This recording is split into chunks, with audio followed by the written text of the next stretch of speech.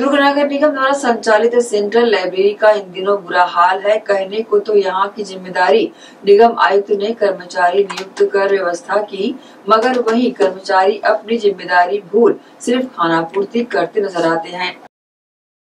दुर्ग नगर निगम द्वारा संचालित data centre में लाइब्रेरी का इन दिनों बुरा हाल है। ज़िम्मेदारी में लगे कर्मचारी सिर्फ़ खाना पूर्ति कर अपनी ज़िम्मेदारी से नदारत नज़र आए अंदर है ना मेंबर लोग नहीं बैठते चार पाँच दिन से गई।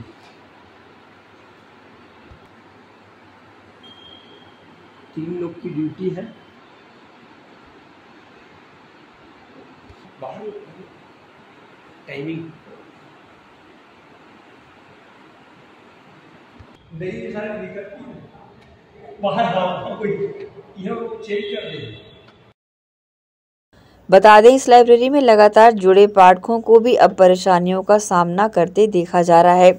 आप देख सकते हैं कि प्रतिदिन दो टाइम खुलने वाले लाइब्रेरी में पाठक तो मौजूद नज़र आ रहे हैं, मगर इसकी ज़िम्मेदारी निभाने वाला कर्मचारी अपनी जगह से गायब नज़र आया। जब हमने सारा मामला पाठकों से जानना चाहा तो पता चला कि रोज का यही हाल है। जो कर्मचारी यहाँ नियुक्त किया गया है, वह सिर्फ़ इसे खोलने और बंद करने आते हैं। इस दौरान किसी पाठक को पुस्तकें लेना और जमा करना हुआ तो कोई भी जिम्मेदार यहाँ मौजूद नहीं रहकर पाठकों की परेशानियों का सबब बना रहता है। देखना होगा। दुर्ग नगर निगम आयुक्त लोकेश चंद्राकर इस दिशा पर किस तरह की पहल करते हैं और यहाँ की व्यवस्थाओं को ठीक करने में अपनी भूमिका निभाते हैं। रोज़ाना यहाँ पर शामिल होने वाले पाठक ने प्रतिक्रिया दी।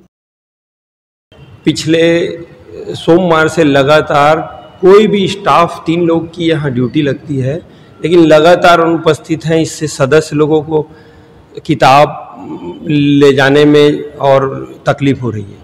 आके बैठ बैठ के वापस जा रहे हैं और स्टाफ जो है खुला छोड़ देता खोलता है उसका बंद करने आएँगे अभी आठ बजे। और लगातार ये सोमवार से जारी है। नहीं तो इसमें क्या होना चाहिए नियम मतलब? यहाँ एक न एक उपस्थित रहना आवश्यक है लेकिन तीन लोगों की ड्यूटी तीनों में से अभी एक भी उपस्थित नहीं है लगातार। कितने दिन से कंडीशन ये करीब करीब सोमवार से चल रहा है। सोमवार को आते हैं खोल के चले जाते हैं और आठ बजे बंद करने के समय आ जाते हैं। इससे जो है पाठ सदस्यों को बड़ी तकलीफ़ है।